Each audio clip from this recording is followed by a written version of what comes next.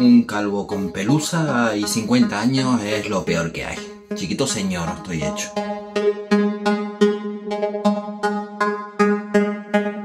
A ver, señor Globero, señora Globera, apúntate a una carrera. Ahora que empezamos a salir de todo este rollo de la pandemia y empiezan a haber carreras de forma más habitual, apúntate a una carrera, hazme caso, ya te estoy escuchando. No, Ángel, es que soy gordito, tengo tanto y tanto, además soy súper lento, súper lenta y, y, y, y... Vamos a ver, que te lo compro, que yo soy súper lento, más lento que una tortuga con las patas amarradas, y soy gordito y tengo 50 años, pero muchas de las mejores experiencias y anécdotas que mejor recuerdo, que más me motivan, que más me emocionan, las he tenido en carrera, incluso llegando al último y algunos incluso sin terminar la carrera. Y en este vídeo te voy a intentar convencer por qué debes de experimentar lo que significa participar en una carrera.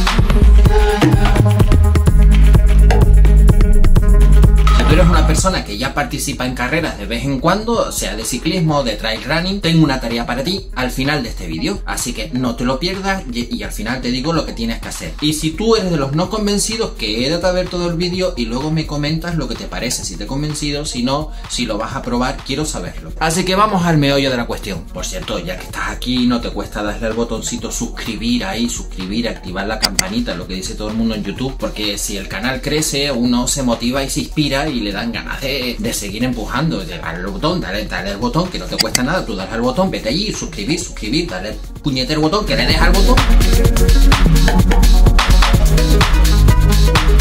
explicarte los motivos, los beneficios de participar y apuntarte en una carrera, dos comentarios. El primero, no confundir cicloturista con carrera. Cicloturista, muchos ciclistas se reúnen bajo el paraguas de una organización, de un club, de un ayuntamiento, de quien sea, y hacen un recorrido determinado con inicio y fin, pero el recorrido tiene paradas de reagrupamiento, no hay competitividad, no hay premio para el primero, segundo, tercero. Cicloturista es un paseo en grupo organizado por alguien, que puede ser una buena opción si eres un ciclista solitario para empezar a congeniar con gente. En este vídeo estamos hablando de participar en carreras, con inicio, con final, con meta, con clasificaciones, con tiempos de corte, con recorrido determinado y trazado, con habituallamiento. Mucho ojo con esa diferencia, ¿eh? aunque haya cicloturistas que intenten esconder como una medio carrera dentro, no, son cosas distintas y cada una tiene su fin. Segundo, antes de hacerme caso, antes de hacerme caso, estaría bien que te midieras. Si tú pedaleas 10 kilómetros y ya estás reventado y te vas para casa y tardas hora y media, todavía no te apuntas en carrera. Pero si tú ya haces 25 kilómetros en la montaña a una media de 10-12 kilómetros hora mínimo, esos son los datos que te salen en el reloj, ya puedes apuntarte a una carrera, a la mayor parte de ellas, en las distancias cortas, que casi seguro vas a terminarla, vas a hacerla, vas a entrar en los tiempos de corte, te vas a llevar tu medallita finisher, vas a estar en la cola de la lista de clasificación, lo importante, vas a tener una experiencia preciosa y súper recomendable. Supongamos que estás en paro, estás en un ERTE, tienes un poco de sobrepeso, eh, te acabas de separar, te acaban de despedir, estás en un momento de bajona. Parece mentira, pero tener una meta, un objetivo, algo por lo que levantarte, luchar, prepararte, inspirarte, animarte, porque tienes algo que alcanzar, te va a ayudar mucho precisamente en ese momento. Tener metas y objetivos en la vida inspiran a seguir adelante, inspiran a crecer, inspiran a seguir entrenando, apuntarte a una carrera es trazarte una meta alcanzable, medible, o sea, un objetivo SMART, con una fecha, con un plazo, que tienes que hacer determinadas cosas antes, te va a ayudar mucho. Si no te apuntas a carrera, es posible que te acabes cayendo en la desidia, vas, hoy no salgo, no tienes motivos para salir, no tienes inspiración, no tienes un porqué. Apúntate una carrera porque te ayudará a tener una meta o objetivo a corto plazo que te va a ayudar a estar activo y eso te va a repercutir en otras áreas de tu vida.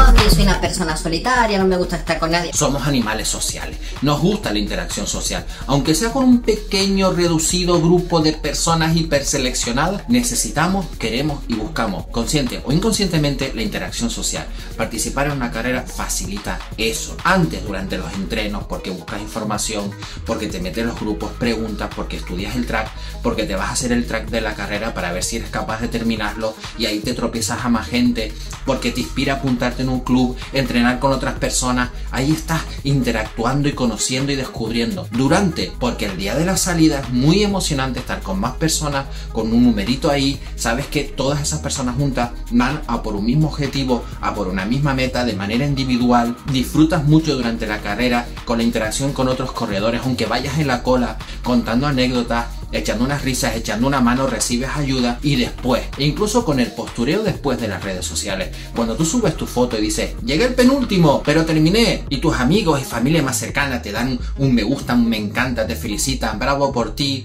qué bien que te veo contento, eso te hace sentir bien, que tu familia te dé dos palmaditas a la espalda. Joder, papio. Bien que terminaste la carrera a la que te apuntaste con la ilusión que tenía, te alimenta mucho, recibes un feedback positivo que te va a hacer sentir muy, muy, muy bien, por no contar de todas las anécdotas que vas a recopilar en el antes, en el entrenamiento y en el durante en la carrera. Son recuerdos impagables.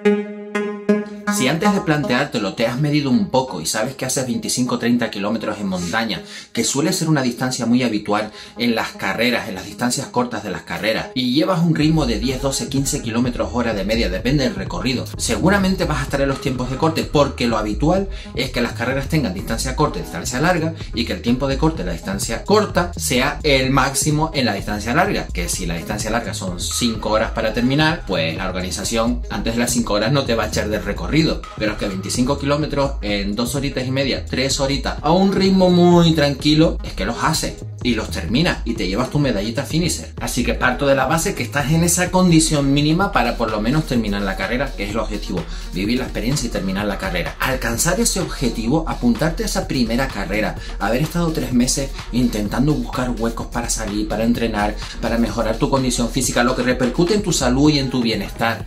Y al final el día de la carrera, estar ahí en la salida, sentir los nervios, empezar a pedalear aunque te veas el último y el escoba está ahí detrás ahí con la eléctrica presionándote, pero tú sigues y lo estoy contando de primera mano y en experiencia directa, y tú sigues y sigues y terminas la carrera y entras en el tiempo de corte y te ponen la medallita finisher y la gente dice, ole tú que no dábamos un duro por ti, lo has acabado, qué bien que las cosas que te propones las terminas, alcanzar esa meta, sentirte lleno, pleno, porque has conseguido lo que querías, te alimenta muchísimo psicológicamente, además de todo el beneficio físico por el entrenamiento. Te ayuda a tener mejor autoestima, a creer más en ti, a plantearte nuevas metas y objetivos.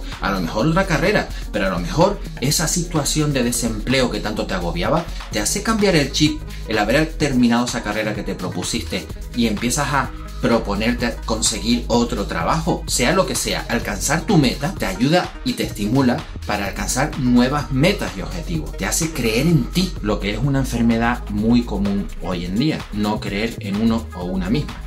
Además, te voy a contar un secreto. No es la primera vez ni la segunda que un primero, un campeón de carrera, le dice a este último... Es que el último disfruta incluso más que el primero. Conseguir cruzar esa meta, llegar al final y que te pongan la medallita finisher, aunque seas el último y detrás de ti estén desinflando los arcos estos hinchables, la alegría que sientes, te sientes tan lleno y tan pleno de pese a todas tus limitaciones, todos los nos que te han dado durante el camino, haberlo conseguido, el primero no lo disfruta tanto como esa primera vez tuya con 48 años, te lo garantizo.